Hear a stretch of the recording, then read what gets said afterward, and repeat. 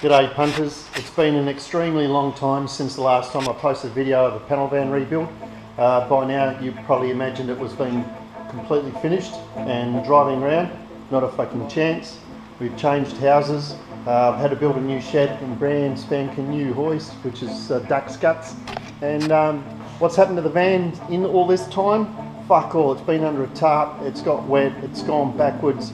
But uh, in actual fact, apart from one thing, where I sent it away to Reaper Customs to have the windscreen plenum taken off uh, all in one piece because I didn't have the balls to do it. There's the dead one there. And there's the damage on the underneath side, which has to be repaired.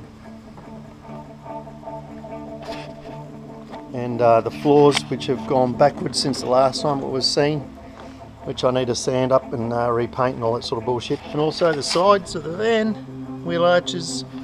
So considering I did a few shit repairs before with the rust, it's been out in the weather, apart from being under tarps situations, it's not too bad. I'm going to sand those spots back and can have a good look at it.